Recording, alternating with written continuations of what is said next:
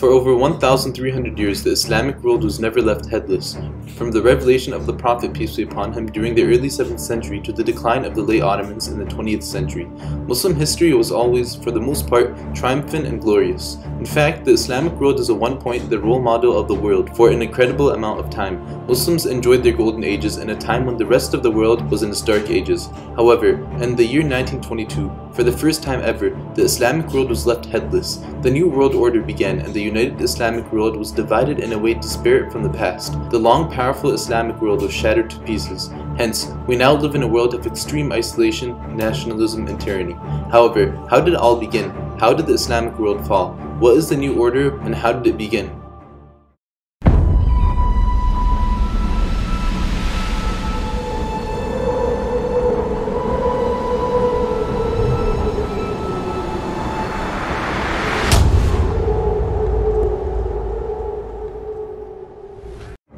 During the medieval period, the Catholic Church's corruption had reached an all-time high. Not only was the Church corrupt, but it also prevented scientific advancement and brought modifications to the religion. The Church banned literacy to suppress people's opinions on God having a son. This led to a dark age. Meanwhile, the Islamic world was prospering more than ever. The new religion of Islam was spreading knowledge all around the world. The Ghaznavids began sponsoring madrasas, and the Fatimids started the world-renowned Al-Azhar University, which remains to this very day. Nizam al-Mulk, the famous Seljuk vizier, made institutional reforms and for the first time in the history of mankind, all subjects and specialties were combined into a single university curriculum. This university would be called the Nizamiya Institute. It began the rise of colleges in the world. Europeans would learn Arabic and go to Al-Andalus and other Muslim countries to study medicine and other sciences. For a millennium, Muslims led the world in every field.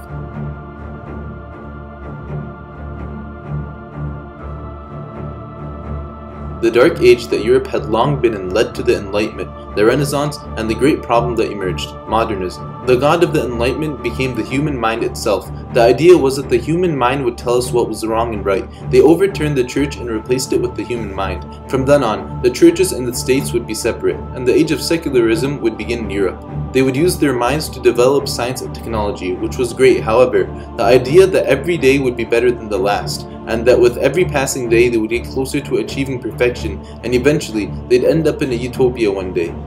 This was the main idea of modernism. Modernists also believed that everything in life was meaningless, but there were only things that held meaning to people. Thus, Europeans became staunch followers of nihilism, the idea of rejecting morals, religions, cultures, and traditions. This was the age of modernism. It would soon globalize and create a new world order.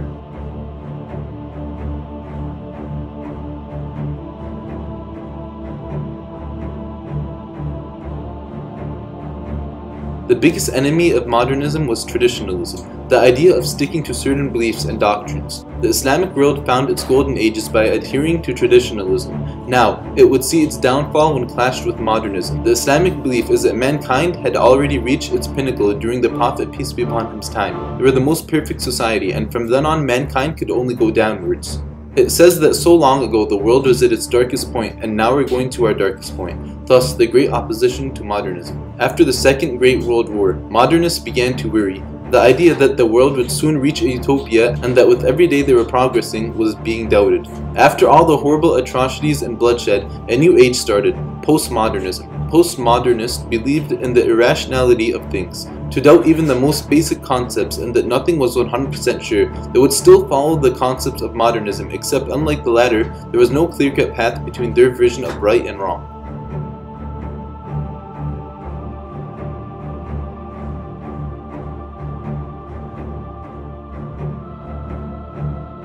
Back we go to the Islamic world. Around the age of modernism, the Islamic world began its steady decline for several reasons, such as internal fighting, the decadence of morals and values, nationalism, and the effect of Western influences. Around the 19th century, the British were preparing for the Ottoman Empire's doom. The latter was the last protector of the Islamic world, and so its fall meant the fall of the Islamic world. Muslims at the time did not understand that the late Ottomans would be the last caliphs. After the fall of Vienna in 1683, the Ottoman Empire slowly began to decline due to a number of internal and external problems. Colonization and the new trade routes discovered by the Europeans caused the Ottoman Empire to seriously start lacking in terms of its economy. Previously, Europe's trade route to Asia had been the Mediterranean Sea, which was in control of the Ottomans, though when the west coast of Africa was discovered and then colonized by the Europeans, the Mediterranean Sea lost its importance as they no longer needed to pay taxes to the Ottomans. Most of the high elites of the Ottoman palace became comfortable and started enjoying themselves rather than focusing on the situation of their people. Disloyalty and even betrayal by statesmen were common. As instability in the Islamic world increased, Europe's dominance over the world went on the rise. As modernization and westernization globalized, Muslims from all around the world began doubting their ways and thinking that if Europe was successful, they too could find that same success if they followed in their footsteps. But what they didn't know was that traditionalism was that which would keep them strong and that after trying to adopt modernism, they would only go downhill. Moreover, modernity would break apart the Ottoman Empire, with one of its greatest products being nationalism.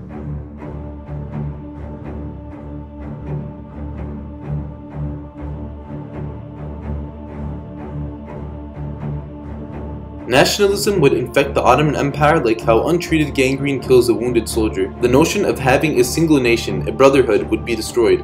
Over the past centuries, people from all around the empire would previously call themselves Ottoman, whether they were Christians, Muslims, Jews, and etc. The empire was very unified for the most part and ran through the system of millet, in which confessional communities would abide by their own laws with little interference from the Ottoman state. This system, which was based on Islamic principles, pleased people from all faiths and beliefs. However, after the French Revolution in the late 18th century, the rise of nationalism extended from Europe to the Ottoman Empire during the 19th century. Each millet became increasingly independent with the establishment of its own schools, hospitals, churches, and other facilities.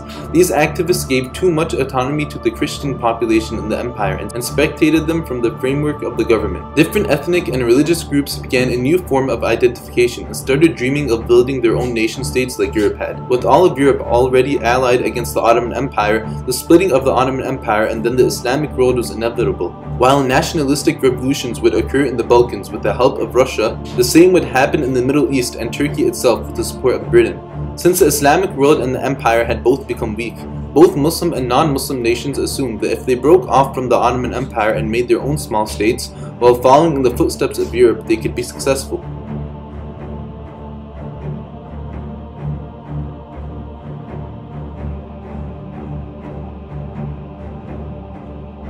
During the mid-19th century, the Tanzimat reforms, which secularized Ottoman leadership and created a constitution occurred. The purpose of these reforms was to make Ottoman law acceptable to Europeans so that capitulations could be removed and sovereigns recovered, and to modernize the Islamic traditional law. The Ottoman sultans began to try to make the Ottoman Empire itself a European nation. They left the idea of traditionalism that brought them to their golden ages and officially began slowly adopting modernism, which could have led to the empire's doom early on had it not been for a genius prince, Sultan Abdul Hamid II. When Sultan Abdul Hamid first inherited the throne, he declared a constitutional monarchy administration. However, it didn't take long for him to realize that the administration was leading the state to disintegration. Young officers and intellectuals who found support from the public and admired Europe moved away from the realities of their homeland and remained alien to the history of the state and the tradition that kept the state alive. The cost of their enthusiasm would be severe for the whole world.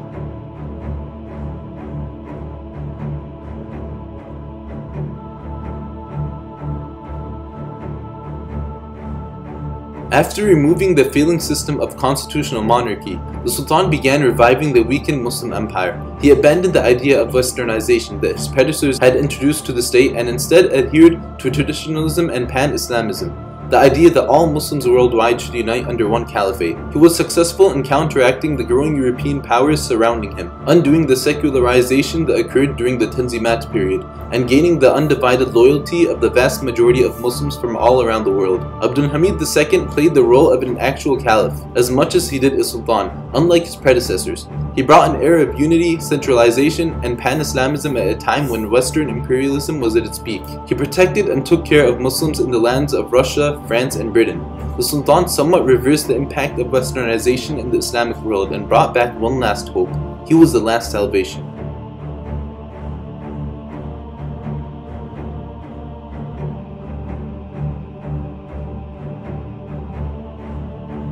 Although Sultan Abdul Hamid was opposed to westernization, it is not to say that he was against it in every aspect. He modernized the country in terms of its military, transportation, education, bureaucracy, and infrastructure. He was utterly loved by the vast majority of his subjects. However, after a rebellion conspired by German and British Freemasons, a fatwa full of lies and slanders was written and accepted by the fatwa officer of the state. The year was 1908, and Sultan Abdul Hamid had been dethroned after a prosperous 33-year-long reign. Thus, the downfall of the empire became inevitable, as the state would be left in the hands of incompetents who would work for the demands of the West.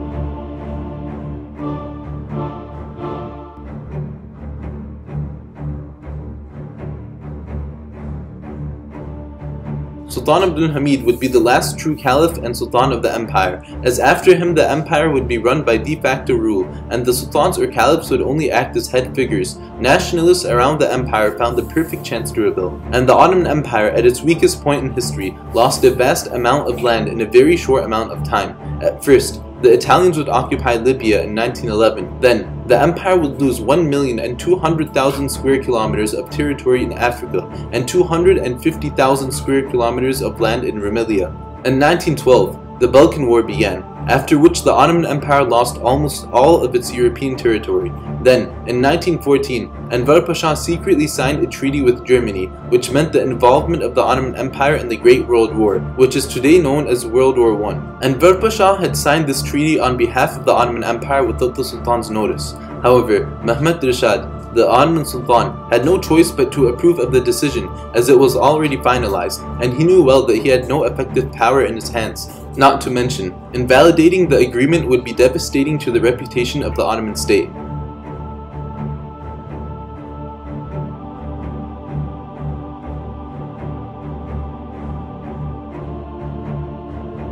The already extremely weakened Ottoman state, just on the verge of destruction, would have the most to lose from World War I. The Young Turks, who had replaced the idea of Ottomanism and the system of millet rule with Turkish nationalism and centralization, had given Arab opportunists the perfect chance to start a full-scale revolt. With the help of the British, the Ottoman Empire lost all its Arab provinces. Not only that, but a large area of Asia Minor would be given to a newly created Armenian state that would have access to the sea. The Ottomans would lose a great amount of territory to Greece as well. The Straits would be internationalized. The strict European control of the Ottoman finance would be established. The Ottoman state was no longer an empire, but a tiny little state that had lost everything.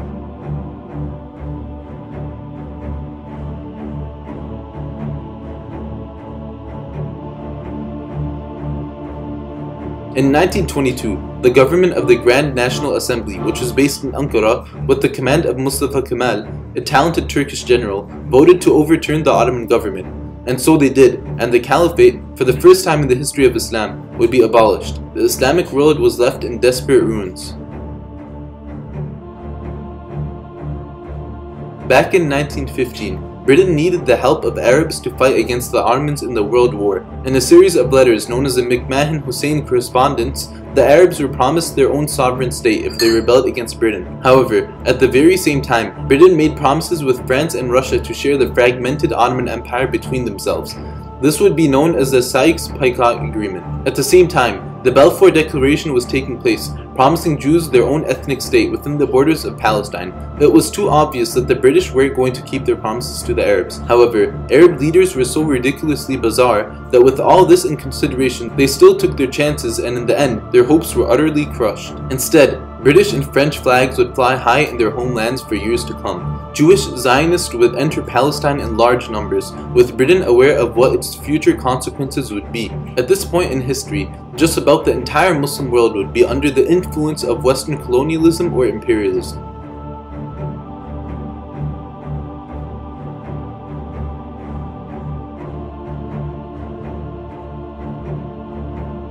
Britain's greatest weapon against the Islamic world was division. All throughout the world, Muslim countries would be divided into tiny little states. Nationalism would become the most popular and accepted ideology, not only in the Middle East but all throughout the Islamic world. Kurdistan, the homeland of the Kurds, would be shared by Iraq, Iran, Turkey, Armenia, and Syria. Kurds never regained their autonomy back and lost their language, culture, and freedom. The Durand Line, which divided Afghans and even tribes and families between borders, would cause serious problems between Afghanistan and the state that Britain would help establish, Pakistan. Britain would not make fixed borders for Pakistan and India on purpose. Their purpose was to let Indians fight against people of their own race for centuries to come, and they ultimately succeeded in doing so. We must now take a look at the story of Mustafa Kemal, the man who further escalated the problem the British caused, the man who is today known as Ataturk, the father of the Turks.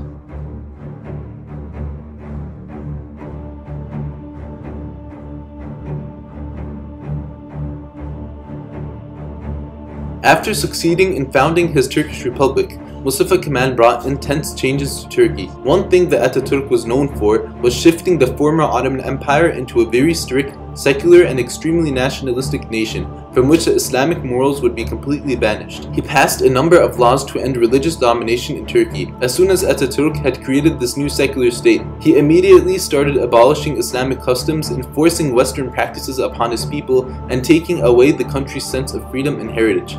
For example, he abolished the wearing of a hijab, a Muslim woman's headscarf in public institutions, and he even forbade the wearing of the men's traditional Turkish hat, the fez, to which they had been accustomed to wearing for almost a century. Also, he opened mixed schools for both boys and girls. He even made it illegal for the adhans and prayers to be recited in Arabic. These new changes and reforms would be called Kemalism. In the end, Ataturk's main goal was to westernize Turkey and secularize all its practices, but aside from that, his aim was to Turkify the country and to destroy everything that didn't represent Turkification. Thus, minorities, in particular Kurds, were prohibited from being who they were. Ataturk neither recognized the Kurdish ethnicity nor the language. Ataturk claimed them to be mountain Turks. Kurds would be disproportionately jailed, imprisoned, and even massacred. This came as a serious surprise, as Kurds had been Ataturk's most loyal followers throughout his fight to establish his state, and in the end, they were horrifically backstabbed. For centuries, Kurds were prevented from learning their own language and following their own culture. The only language recognized by the constitution was Turkish.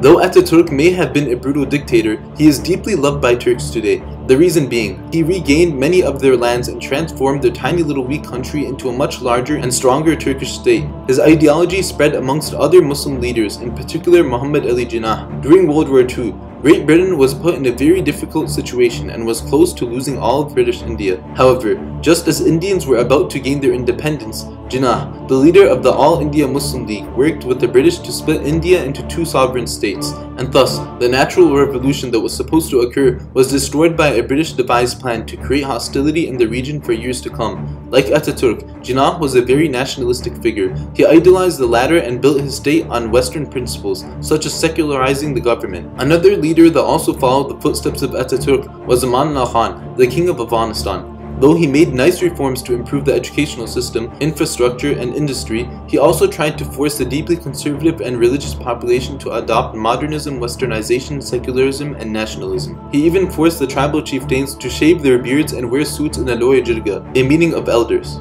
He also encouraged state officials to wear European dress and for women to remove their veils. Though, Afghanistan was very much different than the countries we have previously mentioned. Aman Allah Khan instilled such anger in the Afghans that wide-scale revolts took place, after which he was forced to flee the country to Italy. Now that we have explained the effect of modernism in the Islamic world and how it all happened, the question still remains as to what really went wrong. What should have been done? The reality is that Muslims themselves brought their own doom upon them. They didn't realize that every state should have its own way of modernization. Ataturk and other leaders like him thought that copying every move of the West meant prosperity. What they didn't know was that in reality, it meant the loss of their own identity and the installation of a European identity that made Muslims no different than the European colonizers. The true way for Muslims to develop would have been to modernize in their own way, with the sphere of Islam and the traditions of the people, Instead of abolishing religion, traditional clothing, and imposing European ideology, Muslims should have focused on developing in ways that would have actually helped them, such as infrastructure, schools, hospitals, and technological advancements, like how Sultan Abdul Hamid did. History shows how Sultan Abdul Hamid was truly the last protector and effective caliph of the Islamic world. After his dethronement, Muslims realized what they had lost, but it was too late the Islamic world's order had been eradicated. The world had fully adopted the new world order. The idea of God had been replaced by the human mind. The Islamic world had fallen, and the modern world was on the rise. Muslims were to see their worst days, and the worst of oppression would be witnessed all throughout the world.